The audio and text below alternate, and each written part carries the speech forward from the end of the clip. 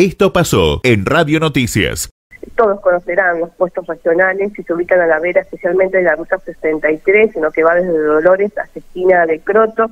Son puestos que venden, como decía, productos regionales, quesos, chocinados, eh, dulces, eh, conservas, bueno, todo especialmente dirigido a los turistas y gran eh, cantidad de turistas que pasan por la ruta 63. Por supuesto, es una fuente de trabajo para muchos dolorenses, también para gente de la zona, porque se extienden un poco más también de la ruta 63, pero también hemos hablado y hemos dado cuenta del peligro que significan estos puestos a la vera de la ruta 63. Eh, no hace mucho hablábamos de un accidente de tránsito, los puestos están muy cerquitas de la ruta, por supuesto con mucha carcelería, con mucha eh, información para, para llamar la atención, por supuesto los turistas, hay mucha competencia, son muchos los, los puestos que se ubican en la ruta y eso genera también, además, por supuesto, de que están muy al borde de la ruta, dificulta también la visibilidad.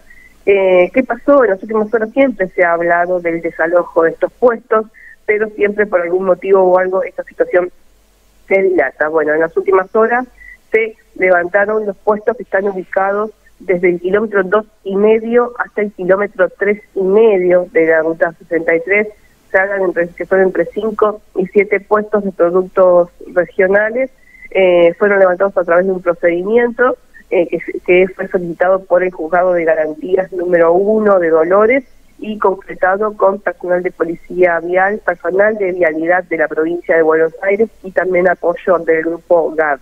Hay que decir que el levantamiento, el desalojo de estos puestos, si bien siempre generó mucha tensión, se dio en un contexto de normalidad. ¿Qué dice la orden de levantamiento? Que no están habilitados y que el lugar no es apropiado para que estén.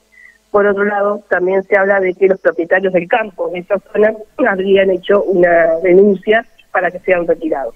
Somos Radio Noticias.